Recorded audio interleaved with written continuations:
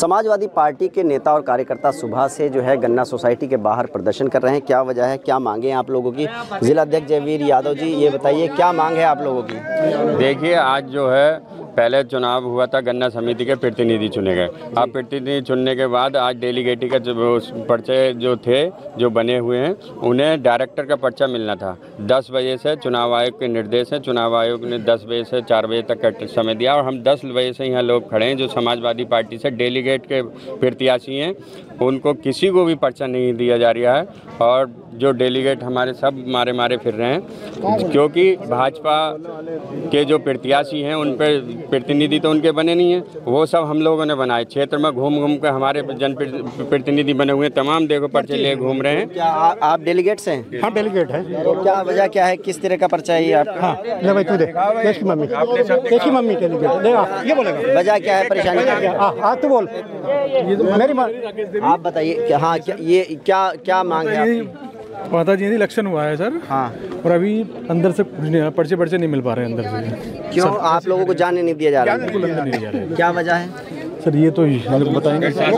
जिला अध्यक्ष जी आप बताइए क्या क्या वजह है? क्यों नहीं जाने दिया? शासन की धानलेबाजी है क्योंकि समाजवादी पार्टी अगर चुनाव होगा तो समाजवादी पार्टी जीतेगी। हमारे डेलीगेट जाते जीते हैं और जो गन्ना समिति के पहले चेयरमैन के लिए अब डायरेक्टर का चुनाव होना है सोलह तारीख को। आज पर्चे बटने थे आज पर्चे नामांकन होना था। तो अगर पर्चे नहीं भरे जाएँगे तो स्वतः बीजेपी जीतेगी। इन्होंने बीजेपी वालों को अपने जाने दिया जाने दिया और पर्चे दे दिए हैं। और समाजवादी पार्टी वालों को किसी को भी पर्चा खरीदने नहीं दे रहे हैं सुबह दस बजे से कितने ऐसे लगभग कितने डेलीगेट्स हैं यहाँ पे? यहाँ पे ग्यारह ग्यारह ग्यारह डायरेक्टर ग्यारह डायरेक्टर चुने जाने हैं। ग्यारह डायरेक्टरों के साथ दो दो उनके एक प्रस्तावक एक अनुमोदक। सब लोग यहाँ पर उपस्थित हैं। देखो प्रमाण पत्र लिए हुए। सब प्रमाण पत्र लेकर यहाँ सुबह से दस बजे से यहाँ पे लोग खड़े हुए हैं। पर यहाँ पे प्रशासन सुबह से बैरिकेटिंग देख रहे हैं आप? एक कहाँ वहाँ बैरिकेटिंग कर दी यहाँ कर दी वहाँ गन्ना समिति का ऑफ़िस देख लें ताला लगा हुआ सुबह दस बजे से। क्या मतलब है ताला लगने का? किसी अधिकारी से बात हुई आपकी? मैं लगातार संपर्क कर रहा हूँ जिला अधिकारी साहब से। डीएम साहब फ़ोन नहीं उठा रहे हैं। अभी ये जो एडीएम साहब हैं एडीएम साहब से ही बात हो रही है। एडीएम साहब कह रहे हैं कि मैं अभी डीएम साहब से बात हो रही है डीएम साहब से बात हो रही है पर कोई जवाब नहीं दे रहे हैं सिर्फ़ यही आश्वासन दे रहे हैं। इस मामले में हम आपके माध्यम से ये मांग करते हैं कि चुनाव आयोग इसमें संज्ञान ले ना मुरादाबाद की सोसाइटी पे कोई पर्चा किसी समाजवादी पार्टी या किसान यूनियन के लोग भी उधर पीछे धरना दे रहे हैं आप देख रहे हैं। और बिलारी में भी यही स्थिति है बिलारी में किसी भी जो समाजवादी के किसान यूनियन के लोग किसी को पर्चा नहीं दिया वहाँ भी भाजपा के प्रत्याशी जो तय कर दिया उन्हीं लोगों को ग्यारह लोग करेंगे अब आप लोग ऐसे ही कांट में सोसाइटी का स्थिति है कांट में भी किसी को पर्चा नहीं दिया वहाँ पे भी सिर्फ़ भाजपा के लोगों को पर्चा दिया गया है। तो ये गुंडागर्दी की सरकार चल रही है लोकतंत्र की हत्या कर दी है इन्होंने ये डरे हुए हैं। कोई चुनाव कराना नहीं चाहते क्योंकि इन्हें पता है चुनाव में जनता इनके खिलाफ है और जनता इन्हें नकार चुकी है। इनके जो कार्य हैं वो सब लोग समझ चुके हैं किस मुद्दे हैं क्या है। ये किसानों का चुनाव है। किसान हमेशा इसमें वो रहे डेलीगेट्स में यहाँ पे? आप भी हैं? आप आपका क्या नाम है? वीरेंद्र सिंह। आप कहाँ से आए? हैं? भोजपुर।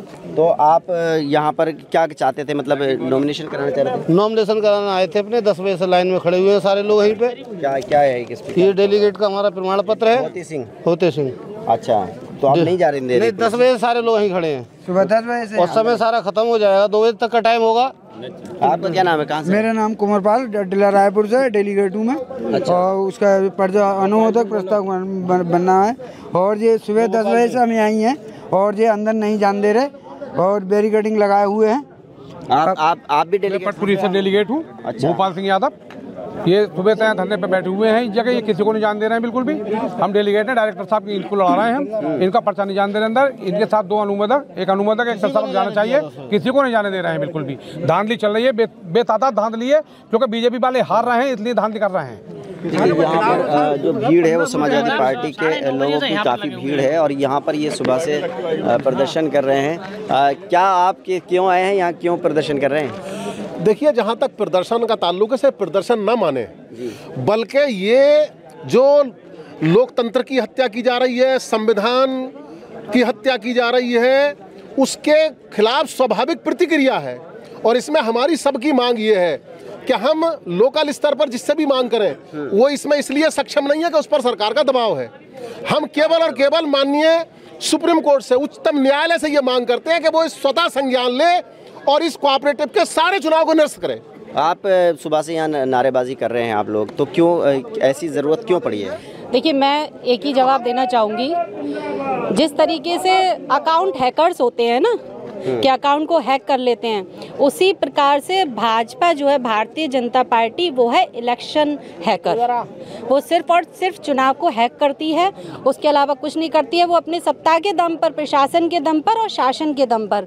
और मैं ये कहना चाहूँगी कि एक समय था जब प्रशासन हमारे जो किसान थे भाई अन्नदाता हमारे उनके आगे कीले बिछाई थी। आप किसान हैं आप भी? जी, जी, तो आप आप लोग क्यों परेशान हैं? परेशान है हम डेलीगेट हैं। चुनाव के लिए पर्चा भरने के लिए आए लेकिन पर्चा नहीं भरने दे रही है फोर्स लगा दी शासन ने अच्छा। और ये हमें आगे नहीं जाने दे रही क्या करें वहाँ पर? बताइए यहाँ पर किसान जो आए हुए हैं गन्ना समिति के डेलीगेट्स हैं आ, उनका ये आरोप है कि जो पुलिस और प्रशासन है उसने चुनाव को हाईजैक कर लिया है और सत्ता के दबाव में जो है वो जो विपक्ष के डेलीगेट्स हैं उनको नॉमिनेशन नहीं करने दिया जा रहा है। आप देख सकते हैं कि यहाँ पर बड़ी तादाद में जो समाजवादी पार्टी के कार्यकर्ता और नेता मौजूद हैं पुलिस फोर्स भी मौजूद है जो गन्ना सोसाइटी के बाहर यहाँ पर खड़े हुए हैं और इन काफ़ी डेलीगेट्स का ये आरोप है कि इनको अंदर नहीं जाने दिया जा रहा है और ये लोग जो है नॉमिनेशन के लिए पर्चा दाखिल करना चाह चाहते थे, लेकिन उनको नहीं जाने दिया जा रहा है।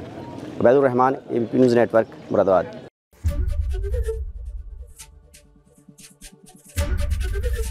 ABP Ganga, खबर आपकी, ज़ुबान आपकी।